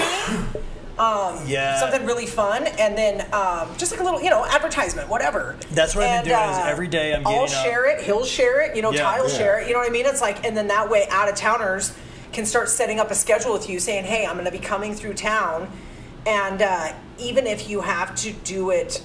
It sucks, like like with COVID, we had to do it like through our phones and stuff like that so silly. Um, because I we prefer to that. do it in Yeah. person. That was something that Yoshi and I talk about. It's like we prefer to do a podcast like this because it just becomes more fun when we're doing it in person like this. Well, that's know? where you're going to get real interaction and likes, which is another reason it's very important to perform at real shows where you have audience members. I compare it to like a dueling piano bar Yeah. or a karaoke bar. Are you that good on a piano? Uh, Could you be a dueling pianist? Not well. I don't know. I know a lot of pop songs. I just don't play them that much because at Ocha it's usually theme songs or sound effects and stuff. I'll, you know, I, I'll play TV show theme songs or it's just a tiny piece. It keeps my attention span. So I really just focus on how do I contribute to the laughs per minute aspect of the show by playing a quick thing here, a quick thing there. It doesn't take much time for people to get up from the audience to the stage, and so uh, I don't play too much of any one song, but. Uh, I mean the dueling piano in the sense that that format of show, the audience is absolutely necessary for the show to be good. You have to, you don't have to be the best piano player or the best singer. You just have to do the song well enough that the audience can sing along. Once they're singing along, you got them and they're having fun. Yeah. And and comedy is the same way. Where if you can't. Uh, you don't necessarily have to be a crowd work person, but you have to connect with the audience in order to make them laugh because the same jokes you play in room A may not work in room B, and the reason is you. You have to learn how to pivot and adjust. And I think a lot of people don't quite get that, but I think that's an experience thing.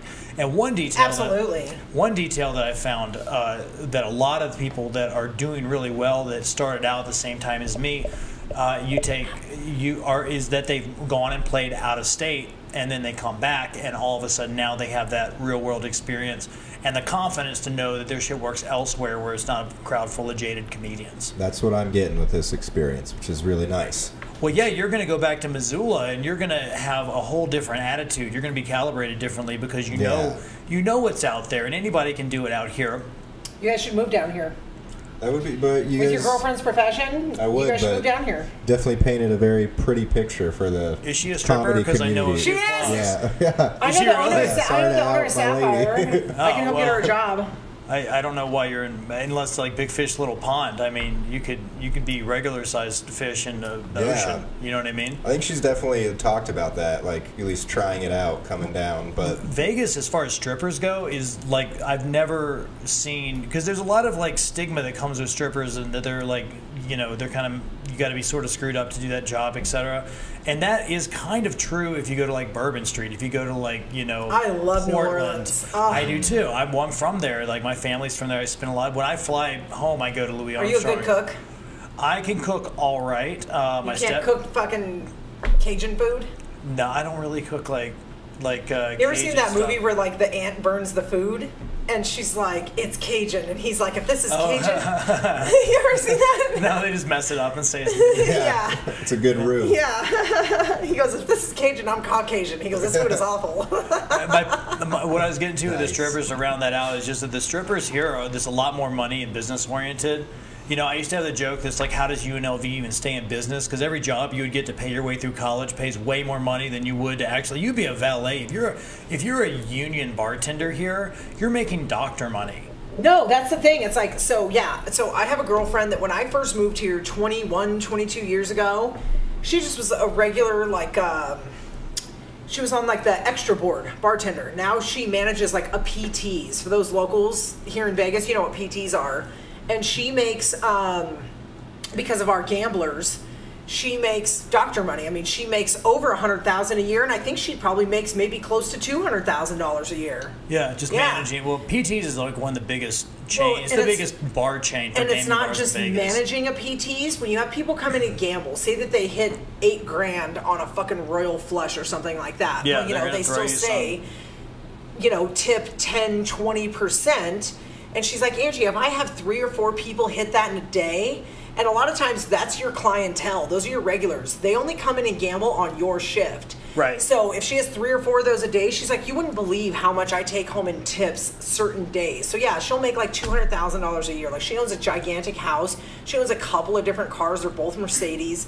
You know, like The Yeah. strippers do pretty well here too. Hell Yeah. yeah. Well, th- th- twenty this- hours a day. This is where the strip clubs when I when I worked at Rick's Cabaret when they first opened because as a fighter you want to work in a bar because you can make bar money but then you don't want to go through all the bureaucracy of a casino if you just moved here it's tricky so I worked at a place where um, they, they I, I worked at a stri- so strip clubs are a place where if you're working like industry you can you can just go get a job if you know somebody and the girls here, a lot of them that dance, they're, they're like I was just said they're business strippers because a lot of these girls they will just go live in Miami. They'll fly out for a couple of months a year, make No, as saw- much money as they want, and then they just go back and you know just hang out as a hot girl in L.A. or Miami or wherever they live. You know, Yeah, which- and then they just come out here to do a, a few a little while. It's like the the I, I met a porn star who did that in L.A. where he lived here because it was cheap.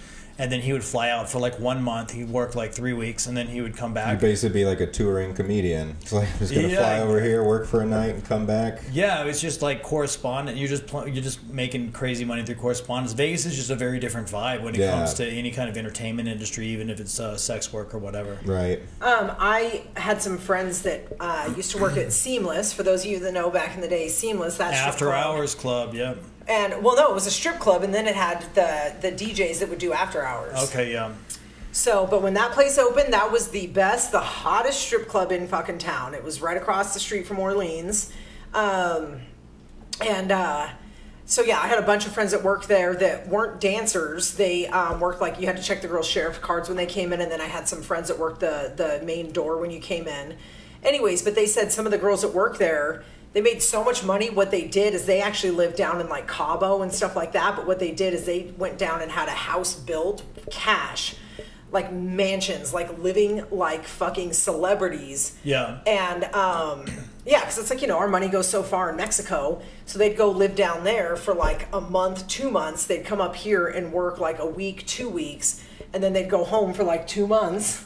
And then they'd come back up here Yeah. and work for a week, two weeks. But yeah, I mean, that's the kind of money that your Yeah. girlfriend could make. So she makes great money in Missoula because there's only one strip club there, the Fox Club. yeah. But, but Right. imagine that, like, it. But let's see a picture of her. sorry, babe. Yeah. Yeah. Let's, let's do Come on, it. let's show her. Let's show her on camera. What's her name? Uh, I don't think she'd like me to disclose that. Rain Oh, is her stage name. Okay, I was gonna say, what's her stripper name? Rain. Rain. Okay, so let's see a picture. You don't have to put it on the camera. Just let At Dave Rain- and I see it. At Rain backslash OnlyFans. But uh, well, there's one of those pictures. okay. Uh, those aren't good ones. Yeah, let's just see how she looks normally. Let me see. I'm trying to find one. And the fact that she's your baby mama, I mean, like, because I didn't know that that was your, you know, I didn't know that was your baby's mom or whatever. But um, so we used to do. Um, Uh, yeah, I, I'm realizing I'm very bad at taking pictures of my spouse. then show us a picture of like when she got her fucking hair and makeup done. Where's her goddamn Instagram? I don't think she really has one. She doesn't keep up on it. Let me find Let me- it. You got a Is that social network. her? Even, even strippers got On a your social backdrop, network is that her? now. It's Oh, all yeah. marketing. If you're if you're in a if you're a one man show Yeah. performer of any kind, you know, then, then Yeah, so I mean, you there she is on the social media. Yeah, she's a pretty lady. Yeah, she's pretty. She's Yeah. banging. She's a pog. She's got it What's a going pog? on. A, a pretty ass white girl. Perfect ass Yeah, white perfect girl. ass white perfect girl. ass white girl. That's the category. Yeah. I had to Oh, Google it's it P A too. W G. Yeah. P A W G. Yeah. Lovely. Yeah, she Yeah. kills it. It's like She's a great the, mom. the old Michael Jackson song P Y T. Yep. Very different acronym. I'm sure. I don't know. I don't You guys know. remember that song? What does the P stand for for the Michael Jackson song? The P Y T, pretty young thing. Oh, I thank want God. to love you, pretty young thing. But yeah, uh, being with a dancer, it's given me a lot of respect for them because they deal with a lot of shit. They're basically like sexy therapists. So down here, she will make a lot more money. Yeah. Yeah. the two rules: you got to hold your drink, you got to hold your alcohol, and hold a conversation. If you can do Yeah. that, you make a lot of money Right. here. It's about having you know your own personal boundaries.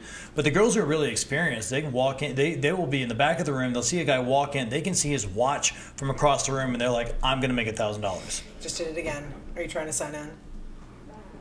Our bandwidth is up. I don't know. There's something going on with my phone.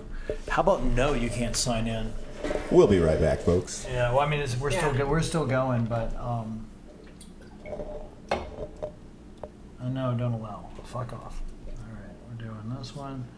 We got to wrap in a little bit anyway, but uh, do do do. Pay no attention to the curtain. Does everybody like the tablecloths behind us? It's not tablecloths. They're very professional Hollywood. Uh, Hang on, let me these are the same curtains they use in The Wizard of Oz. How dare you? Hang on. Ju- Ju- hey, Judy Garland threw up on that. Disrespect. It's rude. Have some respect. An for- alarm just went off at 6 p.m. Should we Yeah. dismiss it? Is that my alarm? Oh, that's what I get for setting always alarms. Oh my god! Oh my god, my fucking phone. All right. Um, well, yeah, we have been we have been going. We didn't we didn't get into uh, what did we not get into? We can talk about. There's next a lot time. of stuff that we didn't get No, into Angie. because honestly, it's like we had to restart it so many times. Yeah, yeah. I mean, if you want, we can keep doing more episodes. I mean, this was a nice little like. Um, Yeah, a little test run. This is a nice little. Um, what is it? Training wheels for you. Yeah.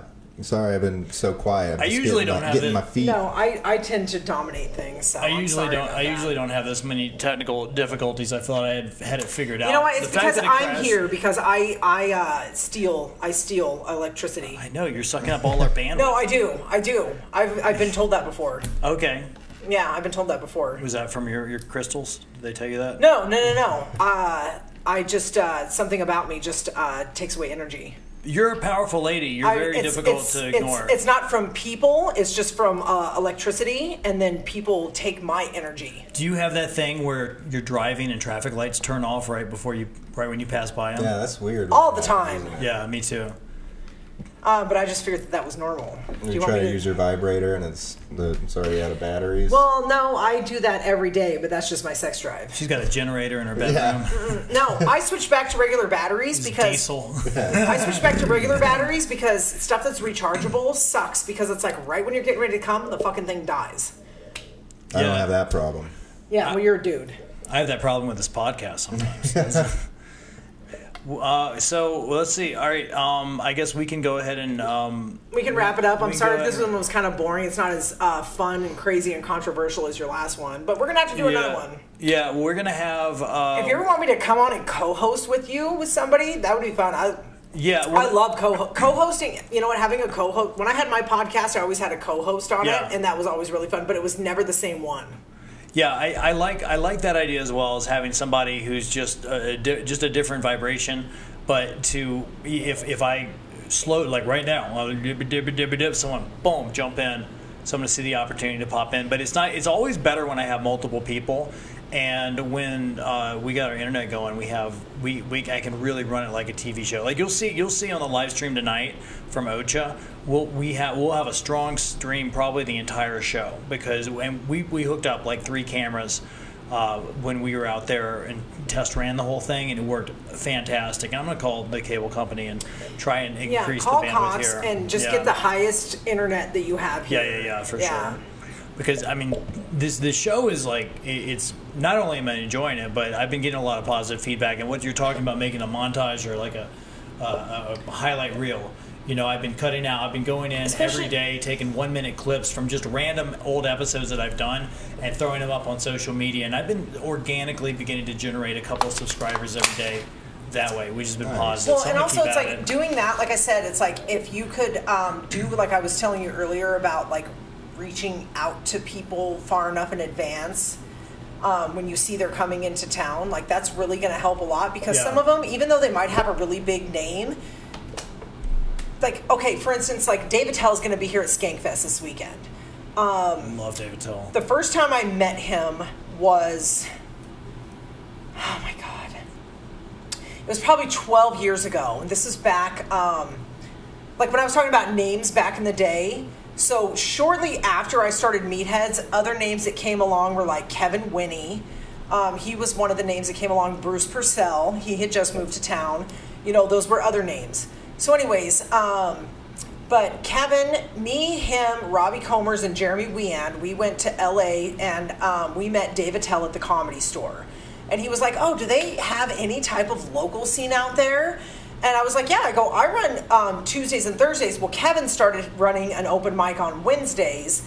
And um, then he started running a showcase on Saturdays. And this is way after I stopped the, the Power Exchange stuff because that only went on for a short amount of time because really you can wasn't only you can only have so much longevity with a show. if People are getting with a fucking in the swingers audience. club. Like people loved the idea of going to a show at a swingers club, but they didn't want to see anything else that went on at the swingers club, and that's what we discovered. And it didn't go on for very long, anyways. So, um, but yeah, so I did Tuesdays and Thursdays. Kevin had Wednesdays, and then I did Friday nights at the Bunkhouse, and Kevin had Saturday nights at MVPs. That was on Trop and Jones. It's some weird restaurant now, anyways. But that went on for a long time too. So it was a great setup. Anyways, so um, there's your alarm again. You're snoozing it. Hit dismiss on that side. Okay. Shout out. So, anyways, we meet Dave Attell at the comedy store, and we're like, oh, yeah, we have these open mics on these nights, blah, blah, blah. So, after that, you know, we come back here, whatever. Four years later, I had moved to LA. I was living there. I saw Dave Attell again at the uh, Hollywood Improv. And I was just like, oh, hi, you know, my name's Angie. And he goes, I met you before. He goes, you're the one that runs rooms in Vegas. cool. And I was like, oh my God, I can't believe you remember me. And I looked dope. completely different than when he met me the first time. Like my hair was different. You know what I mean? Like everything about me was different. I had lost some weight, you know. And um, and he sat there and he just shot the shit with me for a while. It was just me and him talking. Yeah. And it was so cool. and I was like, what a fucking class act of a human being. So when people ask me about the celebrities that I've met, I was like, Dave Attell, hands down, the coolest celebrity that I have ever met. I've Well- only ever heard good things about Dave Attell. Yeah. He's one of the Yeah. greatest. And Yoshi is friends with him, and Yoshi's a really good friend of mine. And he said, if Dave is ever running a show in LA, he goes, and you're there, he goes, go in and tell him you're a friend of mine. He goes, and Dave will probably give you stage time. Yeah. So remember is that. So Just- cool. Yeah. Mention Yoshi's name and you'll get stage time No. with Dave Attell. Because he's going to fact check it. He'll probably be like, hey, uh, this chick Angie Krum is asking for stage time. And Yoshi will be like, oh, yeah. That's my that's my bud right there. I mean, Yoshi stays at my house every time he's in town. You know, me and a couple other people. So Yoshi is a really interesting character. I can't wait to get him in here. Yeah, next time Yoshi's perform in town, Montana. um, he's gonna come do the podcast with me. So the next, the yeah. second time, Yeah, Angie. Anytime you got somebody from out of town, like I, you, you're a great bridge for me to go from. I know, you know everybody. That's the thing. Everybody's like, Angie knows everybody. I know Yeah. everybody for the most part. You guys, I have been doing this shit for so long, and I am the. There's so many comics that go, I wish I had your networking skills. I'm like, just walk up and talk to people. Just walk up and talk to people because the thing that you're going to realize is they are just as insecure as you are to talk to people. It's funny how so many of you guys can do this on stage, but when you get off stage, you guys are no. Yeah. Talk to people off stage. Just walk up. Just walk up to a complete stranger. I mean, because this is something that broke me of that. When I was in high school, I was the shyest person you would have ever met. I got into beauty school and it broke that. And I think it's something that helped my comedy career. Um, but yeah, it's like so. Again, the people are like, I wish I had your networking skills. But again, it's like I know fucking everybody just because I walked up and said, "Hey." Y- You know what I mean? It's like it's just that fucking simple. Yeah. That's how she got It's me opened. here. It's opened so many doors. You know. No, it's how I got you here because I was emceeing the show and I had to talk to you. Yeah. how that's did you guys meet? Okay, so uh, what was it? The beginning of September, so a little over a month ago. Um, I was up doing a suicide prevention show that we've been doing for three years now. That was just our third one. We made it a two nighter this time, and um, so the second night, Nick Kynette, that's moving down here from Kalispell. shout out to Nick Kynette, High Country Living on um, Instagram. He was down here and he was like, so we were doing, actually, one of the nights was his going away party where we still did uh, the suicide prevention raffles and everything like that, and they raised a shit ton of money. Um, so he was like, hey, this kid Blake Powell is going to come out and do a guest spot on the Saturday night show. He said, every time I've seen him perform, he said he kills every time. He goes, actually, one night I had him do a guest spot.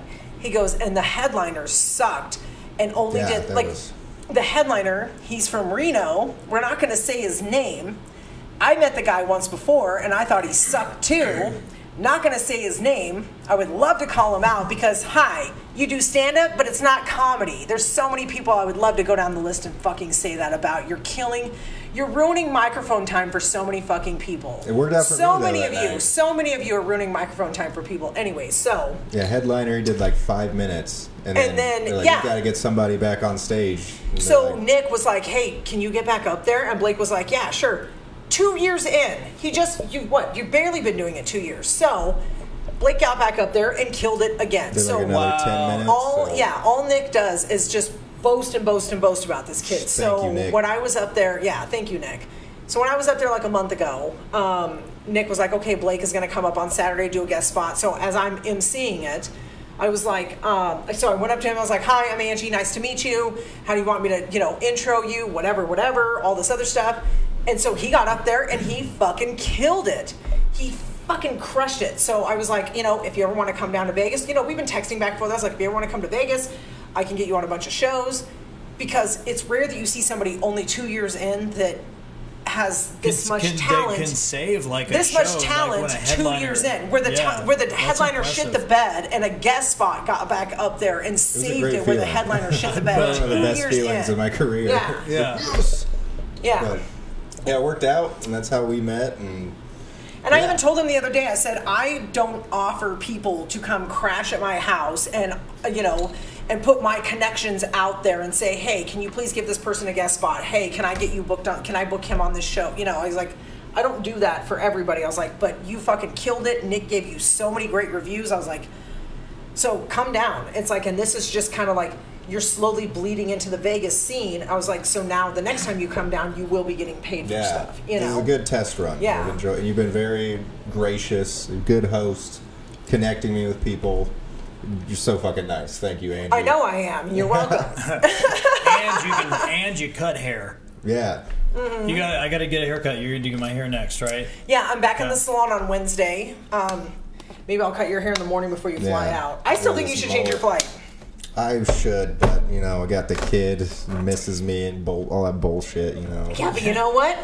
If you can make connections this weekend that will help your career, that's just going to help your life. Yeah, fuck my kid. No, I'm not saying fuck your kid, but I'm just saying it's like you're so talented. What if you meet people this weekend? Like, what if for I some know. wild reason you meet one of these fucking star comics and say, you know what? I want to start taking you on tour with me. This is a really good n- weekend to be here because we had the comedy festival, we had all these people from out of town, and then we have Skankfest. We're gonna have all these people from out of town, big names, small names. Uh, it's uh, it's going to be a time when everyone is going to be hitting open mics. The open mics have been actually pretty busy in the last couple of weeks because we have had all these comedy events going on. So I mean, it is it is, but then also that happens several times a year here as well. Mm-hmm. We have like convention season and stuff, so it's a great place. That's why I'm pretty optimistic about this podcast being able to climb up to a certain level because it is like a, it's a networking city. It's all you know. The best way to get a job is you don't fill out an application, turn in. You got to know some people, talk to some Right. people, do the bare minimum of paperwork, and then you start working like right away. Yeah, that's how so that's how it should. Want to do all that, but it definitely there's like a line, a balance. It's like I don't want to bite off more than I can chew at the yeah, level I'm be at. know? incremental. So- that's totally fine. But there's know? all like being. You always hear like it takes at least ten years to find your voice, and it's like being Yeah, two years in, it's like fuck that. I want to do it sooner. Since that's your baby But- mama and she being a dancer, she's beautiful, she is going to make probably four times the amount she makes now. Yeah, she already makes four times the amount I make. I don't get any say in anything. So I'm not going to ask you to say it on the air right now, but again, she's going to make four times the amount that she makes now. I mean, especially because it's a 24 hour town. Um, is it nude? Is it full nude up there, or is it just topless? yeah, they go full nude. Okay, so here, if she's working in a place that serves alcohol, she just has to go topless. But remember, I was showing you yesterday the little darlings thing. Yeah. It's like that's full nude, but there's no alcohol. Funniest billboards in Vegas too. yeah. They got a comic right Well, it's now. funny It's because so funny. like they have um, the best billboard. I saw the Little Darlings billboard on an Instagram post, Right. And I was like, oh, that was one day ago. I go, you know what? I go when we're driving down there. I said we have to drive right past there, and I showed him. I go, look. I go, there it is. I go, there it is. I go, that post is still up. You Yeah, know, I was like, that's it's still on their thing. Yeah. Yeah. It's like following a comedian on Twitter, looking at the driving on the 15, seeing the little darlings billboards. It's always something funny. I, Yeah, I like 'cause their, what was the their- last one they said where they were just like uh, lap dances for a full tank of gas or something like Yeah. that? that they was do good. that at the strip like- club in Missoula. The, the sign, it's always really like derogatory I, terms I, towards I the love women. their their motto is like we have we have dozens of beautiful women and three ugly ones. Jesus Christ. Yeah. I can't remember. Well, some during of the shit COVID, they were doing uh, drive up lap dances. So you could just drive up, you open your car door, and they'd come out and give you a lap dance from the That's driver's wild. seat. I wrote jokes about that. Whoever's whoever's running Little Dar- Darlings, that is a business survivor. They they know how to pivot. They are committed to that life. Yeah. But okay, so um, we're gonna go ahead and round it up. I gotta go uh, do my daddy duties, and um, it's been great having you guys in here. I really appreciate uh, Angie coming in, the networking. I think this is the uh, beginning of a beautiful relationship where we're gonna be able to. Uh, get some, get some, get not only some bigger names, but just uh, network the podcast out, you know, and let Yeah, people absolutely. know. and I'm that's what I want to do. You know, I got to fix the internet thing so my tech can keep up with the the guests now because, you know, imagine if my shit had crashed three times when Ty was on. You know what I mean? He would have been angry. he would have been like, Mr. Hewlett. yeah, I mean, I'm friends with him, so have been like, he- you can fix this by going down on me. uh, nah, Ty's never actually. I know, I'm just fucking with you. Ty's never played gay chicken with me. He, No, ta- he talks I a know, little I'm bit of just fucking shit. with He you. really fucks with Casper and like Alan and some of the other like hairless little twink dudes out there, but. The ones you know he can dominate. Yeah, well, I mean that's that's part of his thing. you know that's part of his shtick at the mic is he sexually harasses you know That's, that's all good fun, you know? It's all funny, um, but you know it's all comedy making jokes. So uh, networking. Uh, be sure to come by the Ghost Pepper Comedy Open Mic at Ocha Thai. Uh, It is now a with me and Casper going to be rebranding it. Check out the episode where you eat the peppers so you get an idea what you're in for because it was as bad as we thought, but it, it got the job done. It got the job done. It was a lot of fun.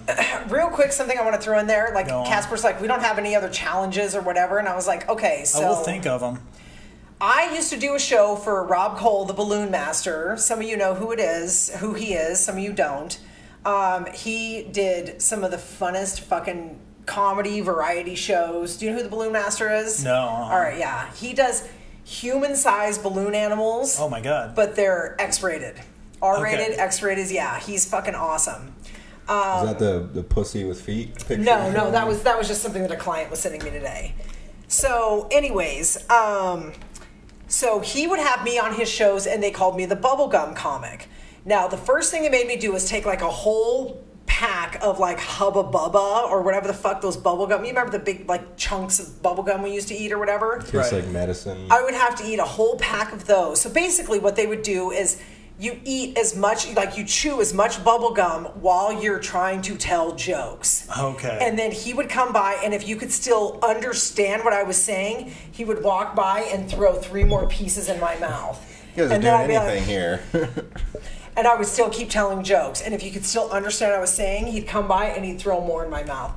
So I think we got to like 37 pieces, and then you finally got to the point where, yes, of course, you don't fucking swallow it, but it's like you're just chewing all this gum trying to tell jokes.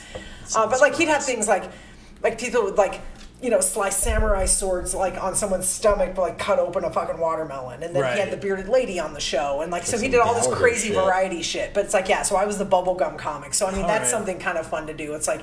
So yeah, it's like I I, would, I finally got to the point where after 37 pieces of gum, you could not understand my jokes anymore. And you and you do comedy the puppetry, the penis show as well. Oh, well. so right? I'm the I'm the second understudy.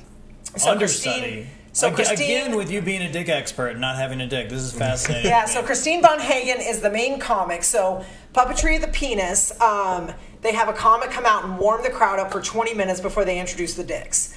So Christine Von Hagen's the main comic. So when she's either out of town or sick or whatever, she has Stephen Roberts uh, is her understudy. Well, when right. when her and Stephen are either both busy or out of town, then that's when I come in. And I fucking love that job. Um, What honestly, kind of crowd? What kind of crowd comes to puppetry the penis? It is from all over the world. You never know what you're going to get. I mean, of course, they have to be of age, but yeah, you never know what you're going to get. And, and I mean, it's a it's a really fun cake job. You get on stage at eight o'clock. You're done by eight twenty. After that, you can leave. The pay is really good, um, and uh, you have no content restrictions. So yeah, you do 20 minutes. You have a new crowd every night. They are from all over the world. Sometimes you have a bunch of uh, bachelors, bachelorettes. Sometimes you have couples. Sometimes you have a shit ton of women. Sometimes you have a bunch of gays. It's always different. It's always fun. I bounce new material off of them. I sculpt old material. It's always different. I fucking love that job. I would love to have a residency for any type of show like that. I am very jealous of Christine's job, but I am very happy for her at the same time. Does that make sense? Absolutely. Okay, so we'll end that. Uh, check out puppetry the penis. Check out the uh, Ghost Pepper Mike tonight and Thursday at Ocha, and uh, check out Angie Krum everywhere, including puppetry the penis all over. Do you still do LA? Or you not Uh, yeah, while? I mean, I still go to LA, but I mean, honestly, when they raised up the fucking gas prices, I drive a truck. There you go. I mean, to go back and forth to LA, it cost me like three hundred dollars. So done, fuck son. you, LA. Yeah, Yeah. fuck Yeah, that. and we have our friend visiting us first podcast ever, first trip to Vegas doing comedy, right? Yeah. And uh, Bla- Yeah. Blake Powell. Just say one more thing before. Yeah. It's just like shit on Missoula in the beginning, saying it's woke. It is a great town. Come check out the scene there. If you guys ever need other comedians that I'd say are better than me to come up, I got a whole list of people who are chomping at the bit. You need Excellent. some more. Yeah, you know what? Missoula is a really cool town. Montana's a beautiful state. Like, I'm not shitting on Montana at all. I'm not shitting on Missoula or anything like that. Actually, um, I got my clip pierced in Montana because they wouldn't do it in Butte. So, hey, Montana, Painless Steel. Um, shout out to that place. Is it still there? Painless Steel. know. That's another great name. Yeah, Painless Steel. I feel like that's how you pick businesses. They just have if they have a great name. Sometimes it just has a little ring to it. Yeah, Painless Steel. Ah, another pun. Here. Uh, I yeah. got my clip pierced at Claire's, so I don't know. Yeah, well, anyways, but yeah, it's like so all my all my all my jokes about my piercings that I tell on stage. Yeah, that's where I got it done in plastic Missoula. um, but uh, yeah, thank you very much for having us. I know it's probably not as controversial as the last couple that you might have had, but uh, I please have me back and. This was very fun. This was very fun. I know we had some technical difficulties, but again, I'm sucking the electricity out of the room. That's it. Yeah, We're about to and lose power. It's it's uh yeah. This is, I think this is the first of many podcasts we'll probably be doing at some point. We'll have you back anytime you got someone in town or you got some shit you want to get off your chest. Let me know, and we're gonna Oh yeah. we're gonna make okay. that happen. Well, I have to get a lot of shit off my chest a lot of the time. So. Beautiful. And I work right up the street, so. And if anybody needs to get their hair done, please let me know. I've been doing hair for 25 years, and I'm really fucking good. I'm gonna do Dave's hair so you guys can see and be like, "Damn, that hair looks good," and be like, "Yeah, looks so Angie Krum did it." And I have to pee really, really bad. right, so can we're gonna go it? ahead and end that. Uh, Thanks, Angie Krum at everyone. Shots, uh, Blake Powell at uh, uh, what is your what is your thing? Yeah, follow my TikTok. My Instagram sucks. Because Instagram really does suck. the Gir- the Girth Brooks. That's the hel- girth, bro- the underscore girth underscore The- Brooks. Is it really? It's so oh funny. my god! I got a way bigger following on TikTok. So. All right, cool. And I am uh, you should tell Tom Bomb that. and I, I am uh, David Hollywood Hewlett, and there is my information right there. Hit me up if you want to do a podcast or you like to spun, etc. Blah blah blah blah blah, and come to the Ghost Pepper open mic again one more time at Ocha Thai Restaurant tonight. At, sign-ups at ten, mic at eleven. You might eat a pepper. It's a lot of fun. If not, you're gonna watch someone do it. Angie, you're allowed to go pee. We are done. Thank you, everybody. Bye. Thank you. Ah.